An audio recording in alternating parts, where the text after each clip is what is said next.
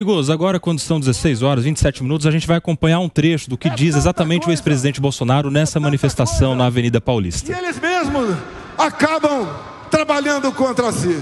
A última agora, ou a penúltima, Bolsonaro queria dar um golpe. Isso desde quando assumiu em 2019, ouvia. E parte da imprensa sempre reverberava isso. O que, que é golpe? Golpe é tanque na rua é arma, é conspiração, é trazer classes políticas para o seu lado, empresariais. É isso que é golpe. Nada disso foi feito no Brasil. E fora isso, por que me, continuam me acusando de um golpe? Agora, o golpe é porque tem uma minuta de um decreto de estado de defesa.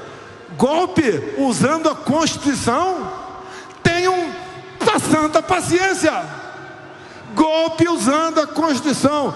Deixo claro que estágio de, de, de sítio começa com o presidente da República convocando os conselhos da República e da Defesa.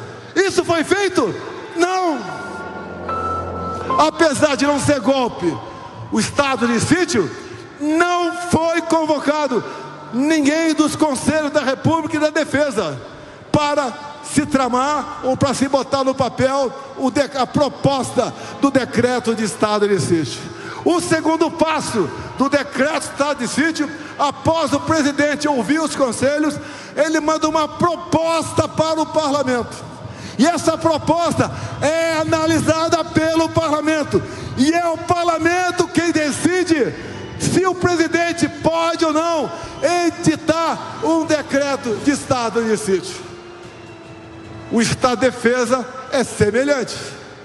Ou seja, agora querem entubar a todos nós que um golpe usando o dispositivo da Constituição, cuja palavra final quem dá é o parlamento brasileiro, estava em gestação.